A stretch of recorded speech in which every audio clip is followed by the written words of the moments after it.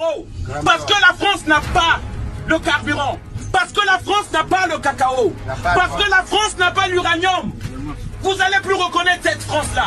Parce que la France dépend de l'Afrique et on ne respecte pas les Africains.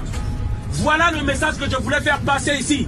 Respectez les Africains que vous voyez. Ne rentrez pas dans ce jeu-là. Dans ce jeu-là où on vous dit qu'il y a trop d'immigrés. Ne rentrez pas dans ce jeu-là où on vous dit que le bouc émissaire c'est l'immigré. C'est l'Afrique qui nourrit la France. Ça c'est une vérité que je vous dis. Et ça vient pas de moi. Ça vient de Chirac. Chirac a dit, sur les 1 euro que vous avez dans votre portefeuille, 60 centimes, c'est l'argent des Africains. C'est ça la vérité. Et donc respectez l'Africain. La France qui se lève tôt, elle est noire. La France qui se lève tôt, elle est noire. Elle se couche tard, elle est noire. Là aujourd'hui, le Mali, le président du Mali, il s'appelle Emmanuel Macron. On a divisé un pays, le Mali. Les gens, les, Maliens dans leur propre pays ne peuvent plus aller même à Kidal. Emmanuel Macron a créé des faux rebelles, a créé des faux terroristes au Mali. Depuis, depuis Hollande, ils ont créé des faux terroristes pour occuper un pays, pour occuper nos pays. Et nous disons non. On appelle la jeunesse africaine de rester déterminée, de rester déterminée jusqu'à la libération véritable de l'Afrique. Et nous accueillerons, nous accueillons tout partenaire qui viendra avec le respect. Nous respecter, un respect digne de ce nom. Lorsqu'ils vont respecter les Africains, nous l'accueillerons. Que ce soit la Chine, que ce soit la Russie, nous l'accueillerons. Voilà le message que nous voulons faire passer. Et la France doit comprendre cela. La France doit comprendre cela avant de perdre tout. Voilà, merci. Bonne soirée à tous. Désolé d'avoir crié.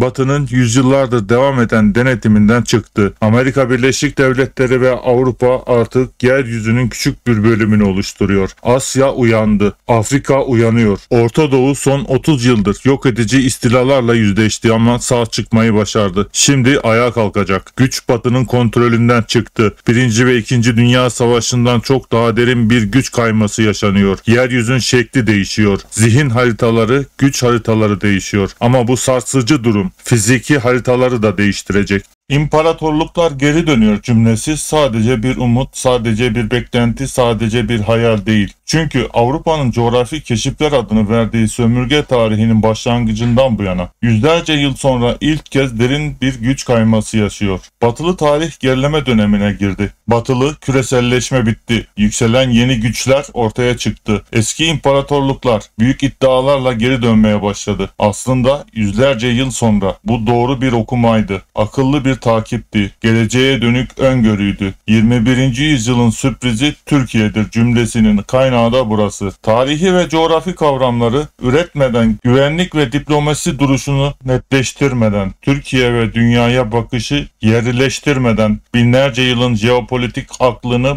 bugüne çağırmadan bunu başaramazdık. Biz de buna yöneldik. Türkiye okumamızı, coğrafya tanımımızı, küresel güç haritasına bakışımızı netleştirdik. Özgür zihni inşa ettik. Sonrasında da yükselen Türkiye'nin kapıları açıldı. Toplumsal genetiğimizde zaten var olan bu gücü 21. yüzyılda yeniden keşfettik. İmparatorluklar aklı siyasi genetik bağlarından boşandı. Türk tipi bağızçılık zihniyetinden Selçuklu Osmanlı kurucu akla yeniden döndük. Bunun için 100 yıl bekledik. Çünkü 20. yüzyıl sabır yüzyılıydı. Anadolu'yu koruma, burada tutunma yüzyılıydı. Onlar bizi tarih dışına, coğrafya dışına itme planları yaptılar. Ama biz üç kıtanın aklını Anadolu'ya sıkıştırıp koruduk. Bu yüzden Türkiye Cumhuriyeti'nin kuruluşu Osmanlı kuruluşu kadar tarih değiştiren bir milattır. Artık kuruluş dönemi tamamlanmış, yükseliş dönemi başlamıştır. Bunu geçtiğimiz yüzyıl asla yapamazdık. Çünkü Batı'nın sınırsız baskı ve denetimi varken böyle bir şeye girişmemiz Anadolu'nun imhası olacaktı. Ve biz gerçekten de tarih ve coğrafya dışında itilmiş olacaktık. Artık sabır dönemi bitti. Dünya Batı'nın yüzyıllardır devam eden denetiminden çıktı. Amerika Birleşik Devletleri ve Avrupa artık yeryüzünün küçük bir bölümünü oluşturuyor. Asya uyandı. Afrika uyanıyor. Orta Doğu son 30 yıldır yok edici istilalarla yüzleşti ama sağ çıkmayı başardı. Şimdi ayağa kalkacak. Güç Batı'nın kontrolünden çıktı. Birinci ve İkinci Dünya Savaşı'ndan çok daha derin bir güç kayması yaşanıyor. Yeryüzün şekli değişiyor. Zihin haritaları, güç haritaları değişiyor. Ama bu sarsıcı durum durum. Fiziki haritaları da değiştirecek. Türkiye iklim değişikliğinin en uygun zamanında harekete geçti. Belki de Osmanlı ve Selçuklu'dan çok daha büyük bir güç inşasının temellerini atıyor. Dünyada olan her yeni gelişme Türkiye'yi büyütüyor. Hareket alanını genişletiyor. Sanki yeni bir süper güç harekete geçiriliyor.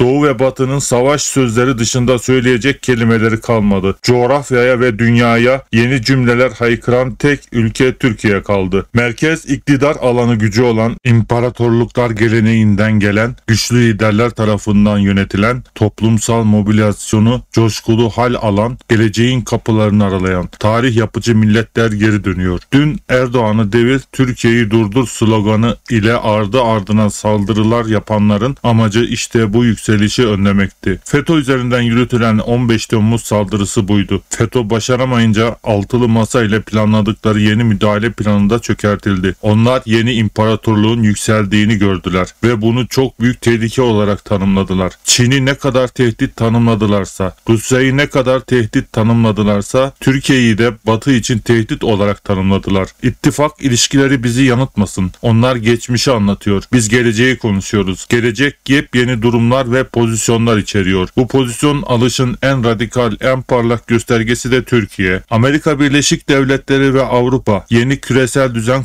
kuramayacak. Bunu biliyor ama bir taraftan Çin'i çevrelemeye, diğer taraftan Rusya'yı Ukrayna Savaşı ile meşgul edip yormaya çalışıyor. Ukrayna Savaşı bitse bile Doğu Avrupa'da yeni cepheler açacaklar. Buna mecburlar. Ama Amerika Birleşik Devletleri Avrupa için Türkiye'nin yeni ve güçlü bir imparatorluğa dönüşmesi en tehlikelisi. Eğer Ukrayna Savaşı çıkmasaydı Biden Avrupa liderleri bugünlerde dünyayı Türkiye ile savaşa çağırıyor olacaktı. Örtülü müdahale kapıları kapanınca savaşlar başlar. İşte Türkiye için tam da o noktaya sürükleniyorlardı. Çok ağır ambargo ve birkaç cephede savaşa zorlayarak Türkiye'yi tüketeceklerdi. Ya da Türkiye-Rusya savaşı çıkartıp iki ülkeyi birden tüketeceklerdi. Şunu not edelim. Ukrayna savaşı ya da Doğu Avrupa'da yeni cepheler açılması Rusya'ya diz çöktürmezse Batı Türkiye-Rusya savaşı için oyun kuracak. Bunu artık biliyoruz. İki imparatorluğu birden çökertme planı bu. Amerika Birleşik Devletleri ve Avrupa aslında yeniden küresel düzen peşinde değil. Batıya yönelen tehditleri durdurma telaşında. Tezlerini Avrupa'yı savunma üzerine formatlıyorlar. Sadece bu bile Batı'nın çöktüğünün çok hızlı çöküş yaşadığının işareti olarak yetiyor. Avrupa Birliği Dışişleri ve Güvenlik Politikaları Yüksek Temsilcisi Joseph Borrell'in 15 Eylül 2020'de sarf ettiği şu sözleri hatırlayalım. Eski imparatorluklar geri geliyor. Eskinin büyük imparatorlukları küresel ve bölgesel yaklaşımlarla geliyor. En az 3 tanesi dönüyor. Türkiye, Rusya ve Çin. Amerika Birleşik Devletleri'nin eski Ankara Büyükelçisi Francis Ricordone FETÖ müdahalelerine umut bağlamış halde bir imparatorluğun çöküşünü izleyeceksiniz diyordu. Hep birlikte durdurmak istedikleri işte bu imparatorluk dönüşüydü.